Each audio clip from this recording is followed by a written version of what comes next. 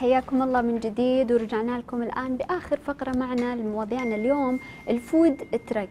تفننت في عمل البرجر المشوي اللي يكون صحي وما نست طبعا الحمية. خصصت لهم وجبات خاصة. راح نروح لسندس ونعرف بقية التفاصيل. سندس. يسعد مساكي منيرة. ومساك أسعد. كيف الأجواء طبعاً عندك؟ أنا مسائي اليوم برجر ويعني بعدين برجر بطريقة صحية يعني. ما شاء الله. عز الطلب زي ما يقولون. يا سلام. طيب آه آه. آه الصوت والصورة لك تفضلي. الله يسعدك. إذا مشاهدينا أكيد يعني ال food truck أصبح من يعني ال- الدعم الكبير له سواء كان أسر منتجة أو شباب صاعد في هذا المجال. وأكيد إذا تميز هذا ال food truck بالبرجر وتحديدا معنا إنعام شكر يسعد مساك إنعام. أهلا ومساك حبيبتي حياك. الله يحييك. بداية خلينا نتكلم عن اهتماماتك في ال food truck ولما اخترتيه بطريقة صحية وتناسب أيضا يعني الشباب في اختيار البرجر تحديدا. آه، أنا بصراحة اخترت فكرة ال food truck آه، لأن لقيت آه، إقبال الشباب للبرجر وللأكل الفود الأكل الفود الف- الفاست فود طبعا. فأنا عندي عيالي الحمد لله طلاب. فاخترت ال food إني أشتغل فيه أنا وعيالي. أجهز أنا ال- الأشياء في البيت من اللحم من الخضار من الدجاج هذا كله. وأولادي طبعا يشتغلوا فيه في ال- الله يخليهم لك. طيب بما إننا تكلمنا عن ال- البرجر والبرجر الصحي وال healthy أنت عندك بعد حق ال diet. حنتكلم عنه لكن خلينا نعرف أنواع البرجر الموجودة معنا في أو اللي أنت تقدميها من خلال يعني سواء كان وجودك أو طلبات الزبائن آه، طبعا نقدم برجر الدجاج المشوي. وبرجر اللحم المشوي. طبعا الحين نازلة إضافة جديدة عندي برجر ال- اللحم أو الدجاج يكون مع البصل المقرمش وال jalapeno طب وأكثر يعني البرجر إقبال من من قبل ال- الناس أو الرواد دائما؟ آه، أكثر الإقبال طبعا يكون على برجر اللحم طبعا. طب بالنسبة لتشغيل ال food truck هل تشوفي إنه في أماكن لو تواجدتي فيها يكون نسبة البيع مثلا أعلى ونسبة الطلب أعلى؟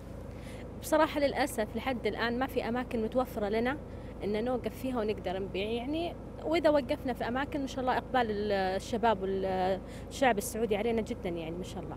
خاصة جميل. هل من صعوبات تواجهك في اختيار ال taste الطعم نفسه للبرجر؟ مثلا كم مرة يعني لو حابة تضيفين صوص أو نكهة معينة كم مرة تاكلينها وتضطر إنك تذوقين وتجربين خلطات عشان توصلي ل يعني الطعم المميز والجميل؟ آه، طبعا بصراحة بالنسبة هذه كثير بالنسبة للصوصات بالنسبة للخبز يعني جربت كثير. أجيب وأجرب في البيت قبل لأني أنزله بالفود تراك وأعرضه لل يعني لزبايني. جميل بغيتي تجربي نادين أنا بجرب معك ما عليك. آه، خلني أتكلم أكثر عن موضوع ال- ال- ال diet. يعني في هوس وفي في ناس يعتبروا ال diet style يعني. أنا أبغى برجر لو سمحتي diet. فخليني أتكلم كيف تقدمينها بطريقة صحية ويكون diet؟ آه، طبعا كثير يجوا يقولوا لي مثلا ما نبغى مثلا الخبز إحنا ما ناكل خبز وكذا. أقول لهم أقدم لكم البرجر عن طريق الخس. إن أستبدل الخبز بالخس فيكون برجر صحي يعني. انعام مين الداعم لك دائما ومين خلف هذا النجاح أو هذه البدايات الجميلة اللي راح تنطلق إن شاء الله للنجاح؟ أكيد طبعا قبل كل شيء الوالدة وإخواني وخواتي وزوجي فوق كل شيء كمان. إنعام طموحاتك في الفود ترك إن شاء الله.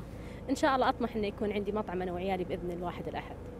بما إنك ذكرتي عيالك ما شاء الله الله يخليهم لك كذا مرة خلني أسألك عن آه، نوع المشاركة بينك وبين عيالك. إيش هي؟ هل هي في اختيار الطلبات مثلا؟ هل هي في الخطة والتسويق مثلا؟ الله يسلمك. أنا أنا وعيالي طبعا حطينا أول شيء ال- الفكرة ك food truck بالنسبة لنوع السيارة اللي بنختارها نوع العربة الأدوات اللي بنشتغلها الاستيكرات يعني كل شيء طبعا هذا بكل اختيار بيني وبين عيالي. ونرجع بالأخير نستشير الوالدة وأخوي وزوجي طبعا. نعم لو نسألك أكثر عن يعني ساعات العمل المحددة ال range اليومي بالنسبة لك أو الأسبوعي كم ساعة لازم تطلعي بالعربة مثلا؟ تقريبا يعني الحد الأقصى ست ساعات لأن عيالي طلاب جامعة فإنه ما أقدر أطلع مدة طويلة. طب لو طلعتي ست ساعات في أول ساعتين كان في ركود هل ترجع البيت وتقولي خلاص آه، ما أعتقد أن اليوم راح أبيع ولا لا؟ والله بعض الأحيان ممكن لكن بعض الأحيان لا يعني الصبر يعني هو مطلوب في العمل يعني. الحين الفود تراك موجود في الرياض الخاص بك. هل ناوية تتجولين في أنحاء المملكة مثلا؟ بصراحة كثير تجينا على السناب وعلى الإنستغرام إنهم طالبين منا إن نتجول في أنحاء المملكة ونفكر في هذا إن شاء الله في المستقبل. إحنا عارفين دور مواقع التواصل الاجتماعي في الانتشار وفي البيع وفي التسويق. خليني أسألك عن حسابات مواقع التواصل الاجتماعي. هل فعلا هي رائجة ومورد ومسوق أول لك كمثلا رائدة في مشروع جديد؟ هو طبعا لها دور فعال آه، بالنسبة للتسويق وبالنسبة لأن الواحد يكون عنده مثلا يحسن من وضعه يحسن من ال- المشاكل اللي تكون عنده مثلا في الوجبات اللي يقدمها ولا يشوف متطلعات الشعب وش يطلب وننزلها لهم بما إنك قلتي تعليقات هل جاكي تعليق آه، يعني بقى في الذاكرة الحين مثلا تحبي دائما ترجعي له هذا التعليق سواء كان إيجابي أو سلبي؟ أكثر تعليق إنه ليه ما تجونا مثلا في جدة؟ ليه ما تجونا في مكة؟ ليه ما تجونا في الشرقية؟ ليه إحنا محرومين؟ ليه أهل الرياض هم اللي لهم وإحنا لا يعني؟ خليني أسألك عن طريقة التقديم. يعني أنا شايفة ما شاء الله آه، طرق تقديم مميزة. أعطيني معلش واحدة. عادي أخذ واحدة. أي. أنا شايفة طريقة تقديم مرة مميزة وجميلة. خلينا نتكلم إنه دور التسويق والتقديم هذا بالجمال هذا كيف يساهم في تسويق آه، هذا المنتج؟ آه، طبعا زي ما يقول لك المثل العين تاكل قبل الفم. فالشيء أكيد إنه الواحد إذا لقى شيء قدام عينه يعني ما شاء الله مغري فياكل يعني. يعني أحيانا الواحد يغري الشكل أكثر من الطعم. بس لكن الحمد لله إحنا عندنا جودة الطعم وجودة الشكل. طب لو أسألك هذا بالضبط وش هو بالضبط الدجاج اللحم اللي الخلطة الجديدة وش؟ هذا طبعا برجر دجاج. آه، طبعا الخلطة الجديدة اللي هو البصل المقرمش وحاطه مع صوص الهلبينو وطبعا البطاطس هذا حاط عليه صوص الجبن جبن تشيدر والبصل المقرمش. طب لو أسألك عن الميزانية يعني في هذه التقديم المميز والجميل وكمان الميزانية في اختيار الخبز وال... وأكيد السلطة لازم تكون فريش. الميزانية اليومية هل تحقق من خلال المبيعات هل في توازن ولا لا؟ بعض الأحيان نعم لكن بعض الأحيان يعني نضطر أن نخسر لكن هذا الشيء ما ي- يعني ما يأثر علينا بما أنه إحنا نطمح للأفضل إن شاء الله. وخبز طبعا نستخدم خبز البطاطس. طب هل في المستقبل ناوية بتس- تستعينين بناس متخصصة في مجال البرجر ولا انت مقتنعة إنه انت بخلطاتك راح توصلي للطعم المميز والجميل؟ لا إذا دعت الفكرة ليش لا يعني؟ الواحد يطمح أنه يقدم شيء أفضل. يعني إذا اضطريت للشيء هذا ما يعني لا مانع لدي أني يعني أستشير مثلا من الشيفات ولا الأشياء هذه لا لا مانع لدي بصراحة.